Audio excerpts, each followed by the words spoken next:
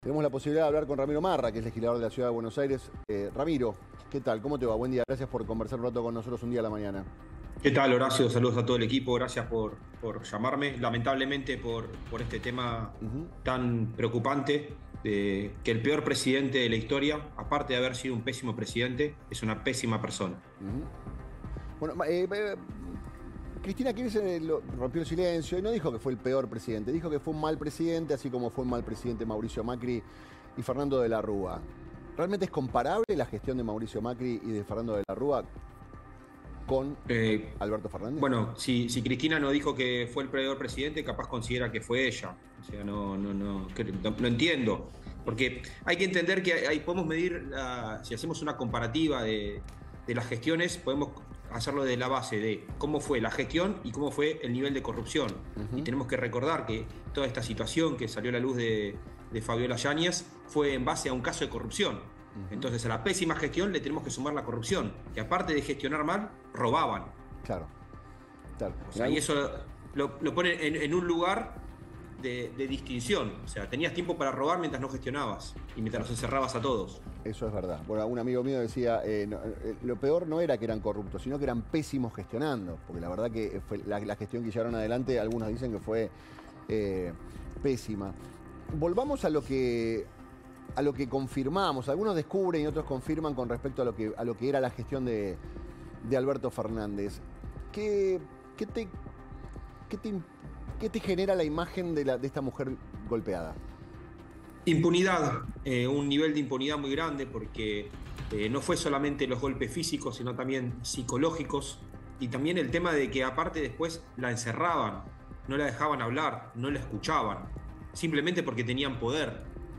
Utilizaban eh, una casa de huéspedes en la Quinta de Olivos para tenerla secuestrada, porque como bien planteó Fabiola, no la dejaban ni salir con el auto la tenían totalmente limitada. Y eso lo hace alguien que tiene un poder semejante como un presidente de la nación.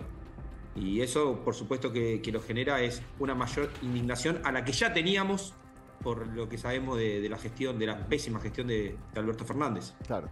Vos sabés que en su momento se daba a entender que, esta cuestión de que ella estuviera viviendo en otra, en otra casa, era para protegerlo a él, que tuviera la posibilidad de, gobernar con, frialdad, que no tuviera esta perturbación de una criatura recién nacida eh, despertándose a cada rato, digamos. La versión oficial era, ustedes saben que Alberto le está dando la batalla a la pandemia, ustedes saben que Alberto es el mejor presidente del, mundo mundial y lo que tenemos que hacer es este, protegerlo a él para que pueda seguir gobernando. Por eso Fabiola gentilmente, amablemente y en forma patriótica se está mudando a la otra casa para que Francisquito no lo deje, este, le permita dormir bien al presidente de la nación, ¿no? Esa es la versión oficial. Eh, eh, esa es otra cosa que me sorprende cuando uno se empieza a informar y empieza a cruzar la, información. Creo que el embarazo fue posterior a la pandemia y uno empieza a ver eh, estas falsas excusas como pasó también con el caso de los videos que se viralizaron con gente allegada al presidente, que uno puede interpretar que había una relación amorosa, y cuando ve los ingresos y salidas a la, Quinta de Olivos o a la Casa Rosada,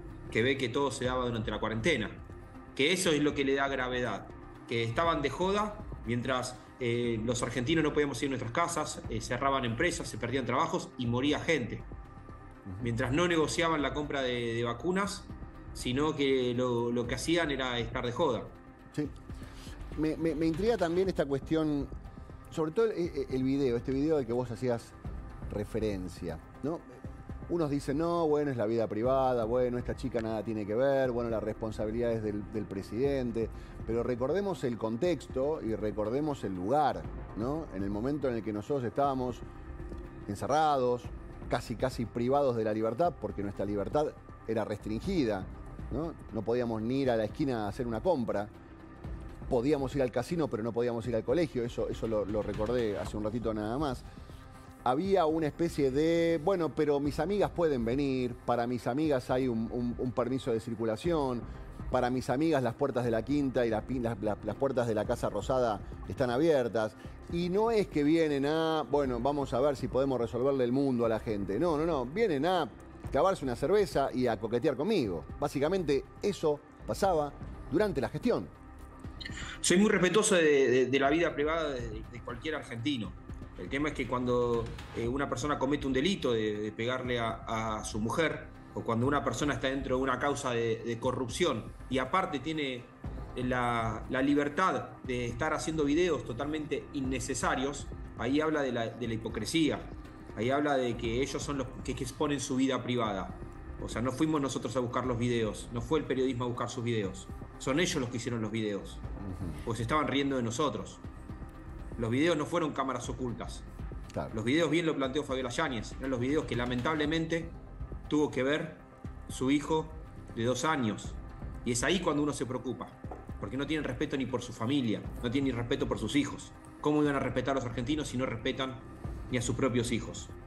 Y eso es lo que genera la bronca y estas sensaciones que tenemos todos de, rechazo ahora al expresidente que hasta me gustaría poder sacarle el título de expresidente, porque no se lo merece.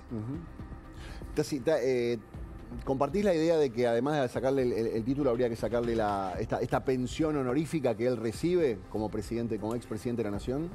Para empezar, si el concepto de pensión al lado lleva la palabra honorífica, sí, por supuesto, porque de honor no tiene nada. Después, por supuesto que tenemos que hacer un replanteo de todo lo que tiene que ver con las jubilaciones de, privilegio y con todos esos detalles que muchas veces eh, ex presidentes eh, tienen que son de manera totalmente innecesaria, que capaz no hacen, eh, no rompen la cuestión económica, no mejoran tanto la situación económica en, base a los grandes números que se manejan lamentablemente por parte del Estado, sino es un tema simbólico, un tema de respeto hacia la sociedad. Si hay gente que la está pasando mal, no tiene que tener un presidente una pensión tan alta. Sí, claro, por supuesto. Eh, Ramiro, mi, última pregunta tiene que ver con, hay, mucha gente que en este momento está diciendo que el actual presidente es muy violento porque retuitea cosas, pero en ese momento no dijo nada. ¿Cómo no dijo nada? ¿En qué sentido? No dijo nada. Los que están diciendo hoy que el presidente actual es muy violento porque ah, cosas, en ese momento no decía nada. Y yo recuerdo algunos episodios donde muchos diputados, muchos periodistas fueron amenazados literalmente con ir a buscarlos a la puerta de la radio, a cagarlos a trompadas y seguían cuestionando las decisiones que tomaba el gobierno. ¿Te acordás de ese momento, no? Sí, por supuesto. Mira, te, te respondo. Si el debate público es, sobre los retweets que da el presidente, es porque todo el resto es un éxito. Entonces tienen que ir a hablar de, algo tan básico y tan, tan insignificante como, como retweets, porque de todo el resto no pueden hacer ninguna crítica. Tengamos un debate mucho más profundo. Si vamos a debatir sobre retweets, es porque en otro lado no pueden decir nada, porque se dan cuenta que la inflación está bajando, se dan cuenta que el presidente está teniendo una excelente gestión en términos económicos, ya que tenemos superávit, que tenemos un ingreso al mundo, el mundo de vuelta ha tenido eh, iniciativa por entender qué es lo que está pasando en la Argentina. Hemos logrado la ley base para generar nuevas inversiones y así puedo estar una hora hablando de todos los éxitos que tuvo el gobierno en un año, sin hablar del mayor éxito de todos, que es la batalla cultural. en la batalla cultural está dejar de ser hipócritas, de no utilizar los recursos del Estado para hacer un ministerio de la mujer que después no le responde ni a la primera dama. Eso es verdad. Gracias, Ramiro.